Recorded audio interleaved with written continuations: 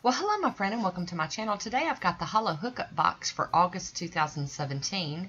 It's a haul swatch video. And here's the box that came in, the Holo Hookup, and I have my pop sticks ready. The first one is Glisten Glows Fairies Tryst. It's crazy. And then Cupcake Polish. Beautiful, beautiful. Field of Flowers. And the next one is Different Dimensions, and that's Enchantment. And then the last one is the guest polish, and it's from Tonic. It is, you can't even describe it. The camera's not even going to get it. It's just not. So I'm going to go ahead and do my first coat. And this is a very crazy silver holo, but it's got something else going on with it. Me and my friend Tammy were talking about it, and it's got something else going on. It's got some kind of duochrome going on it's something is definitely up with that one. It's not a basic silver holo. It might be my favorite this month. And this purple reminds me a whole lot of the Very Good Looking, but it's lighter. And it's also by Cupcake Polish.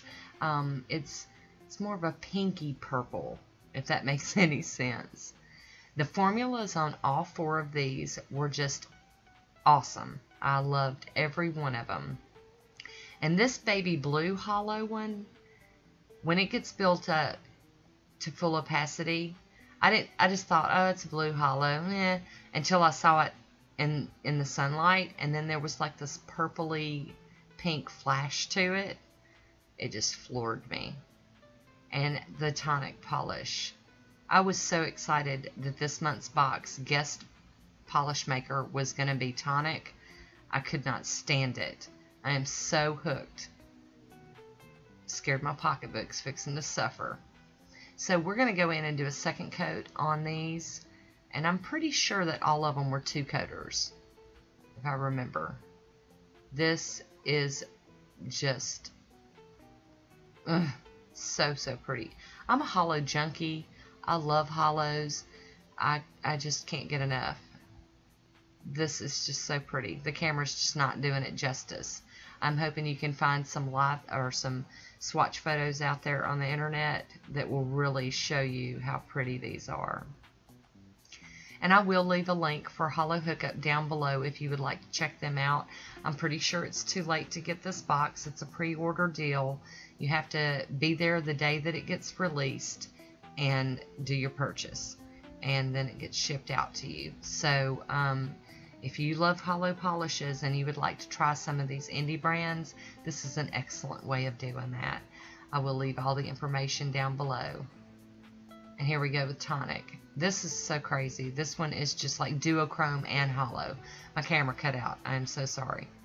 And I did bump the blue one, so I'm just going to go in and add another coat. Just kind of smooth it out and make that bump go away.